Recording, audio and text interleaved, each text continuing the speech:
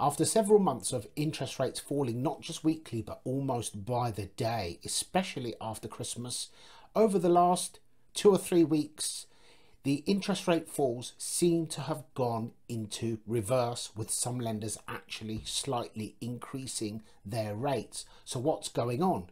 We're getting conflicting reports about property that it is actually showing signs of rising in certain areas whilst all of the behind the scenes indications are that it is still falling. In a previous video, I had said when I made a video about the last uh, interest rate change or lack of change uh, when the Monetary Policy Committee last met, several people disagreed with my opinion that they should have reduced interest rates. So here is something very interesting.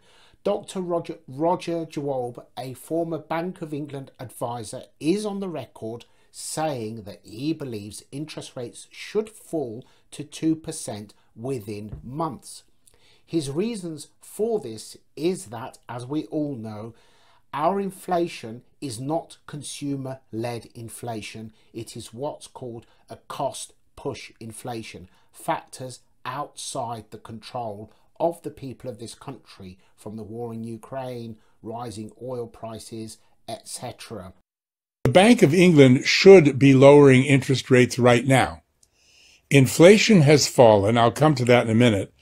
Um, but, uh, pardon me, inflation has fallen and thus uh, they should take their foot off our throats and lower interest rates because it's killing British business. There's about a half a million British businesses that are said by think tanks to be just about ready to go to the wall and go broke. We still have risks that things could go wrong again because there's the uh, conflict in Ukraine, in Gaza, and in the Red Sea, and any one of those factors could affect the price of oil or food. But that still has absolutely nothing to do with consumer inflation here. It would be a cost push inflation and throttling business, consumers, the country as a whole is a very, very dangerous strategy because they are pushing our country into recession. Estimates are that there are currently 500,000 businesses throughout the UK teetering on the edge. But back to those lenders raising their rates slightly. There may be people out there panicking, thinking that the uh, fall in rates has ended and they might be working their way upwards. That's what the lenders want you to think.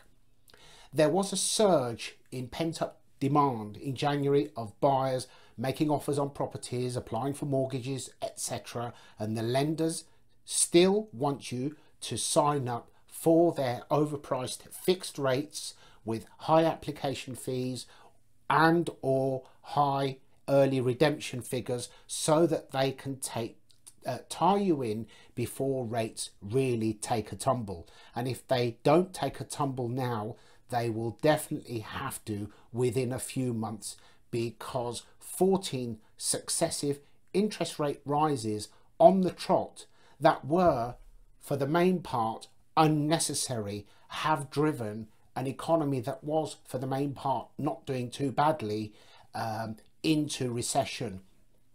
Now, although on a GDP basis, we've only been recession for one quarter, on a per capita basis, we have been in recession for seven quarters on the trot. Let that sink in. So, in my opinion, don't panic and sign yourself up for an overpriced fixed rate because I do believe that rates will continue to fall lenders are surprisingly uh, being devious, trying to tie you in to higher rates for longer periods so that they can get as much out of you as possible before rates begin to fall. I don't know if they will go as low as 2%. They should do, and they may very well need to go that low because despite some of the opinions on uh, on my previous videos when the economy grinds to a halt interest rates need to come down to resuscitate the economy, and that is necessary now. But every day that goes by, let alone weeks or months, that they delay means that at some point the falls will have to be even more drastic. I wonder if the big drops happen just before the election. I wonder why. Hmm. Anyway, that's all for now. As always, thank you very much. If you have any questions, please feel free to get in touch. Um, sorry, I've not been about too much later lately. I have had a lot on my plate.